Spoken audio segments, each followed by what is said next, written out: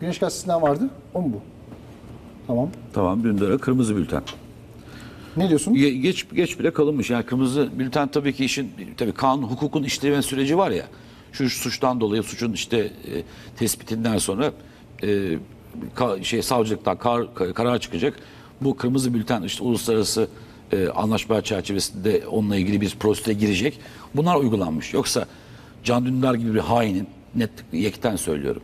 Böyle bir e, satılmışın, böyle bir müstemleke çocuğunun çoktan beri e, e, bu ülkede olup burada yargılanmış olması lazımdı. Kaçtı gitti. Hem de 15 Temmuz'dan kısa bir süre önce gitti.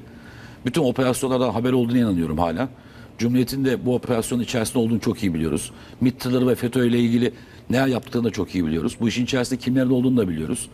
Yakında inşallah senin bu kitabın çıktıktan sonra göreceğiz MİT tırların içerisindeki önünü ve arkasını. O bağlamda ha bu var. Fakat bu olurken de ne olmuş? Aynı zamanda kendi açıkladığımı bilemiyorum. Sabahleyin araştırıp bakıyorduk ama e, Nobel'e de aday olmuş. Var mı o bilgi de bizde? Nobel'e de aday olmuş. Nobel Barış Ödülü'ne Evet. aday gösterilmiş. Tabii. Yani Komite şimdi, tarafından. şimdi herkes bir fırsatını yakalıyor. Zamanında Orhan Kendisi şöyle Pamuk- durmuş. Evet. Bu değil bu değil. Nobel'e aday olduğu şey vardı ya. Ver. Ver bakalım. Vermeyecekler galiba. Öyle mi değil? Kendisi açıklamış galiba yani Evet. e, Nobel'e aday olduğunu. E, açıklamışlar ki aday olduğu kendisi iletildi herhalde değil mi? Muhtemelen öyle. Öyle bir şey olmuş. E tabi normal çok fazla şaşırmıyoruz bu konuda. Özellikle Nobel Edebiyat Ödülü alan e, daha önceki e, Orhan Pamuk'u da hatırlıyoruz. E, zaten e, o o bir şey yapmıştı aldı. Bu da bir şey yaptı almaya çalışıyor. Alabilir.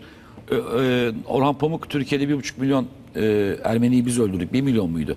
Bir milyon veya bir buçuk milyon Ermeni biz öldürdük dediği Öyle için oluyor zaten galiba bu taltifini işler. aldı. Tabii taltifini aldı. E, Batılılar buna bunu verdi. E, bu da aynı şekilde e, Türkiye cehennem dediği için mesela bunlar güzel ifadeler değil mi? Çünkü zannedersem dördüncü, beşinci ödülü Almanya'da bu kısa süre içerisinde maşallah her üç ayda bir ödül veriliyor. Dördüncü ödülü Türkiye cehennem orada bilmem ne var diye küfür ediyorsun ya bol bol. Hani Allah belanızı versin niye Türkiye var gibi. Ha, bu, da, bu da çok düzgün şeyler söyleyen bir adam. Öteki zaten Türklerin katil olduğunu ispatladığı için roman yazdığı için verdik. Tebrik ediyoruz Nobel. Sen de Türkiye cehennem dedin. Bravo Nobel. E, bu, no- bu artık vakaya adiyeden oldu. O yüzden çok şaşırmıyoruz. Versinler. Bir de şey de adaydı galiba ama o açıklanmadı. Kılıçdaroğlu'da. Şu yürüyüş yüzünden. mi? Tabii tabii yürüyüş, adalet yürüyüşü. Ya işte. E, 400 küsur kilometreyle e, uzun. Nobel'in öyle bir kategorisi var mı? Maraton, yok. No- Nobel Maraton Ödülü. E, e, yok herhalde ama e, Nobel Atletizm çok Ödülü. uzun maraton yürüyüş yani. E, 10 maraton 10 maraton Hani kadar şey yürüdüğü için. Ormanda 10 kaplan gücünde var ya. o kaplan oto- gücünde. Otobanda 10 maraton gücünde Kemal Kılıçdaroğlu. Allah'ım ya Rabbim ya.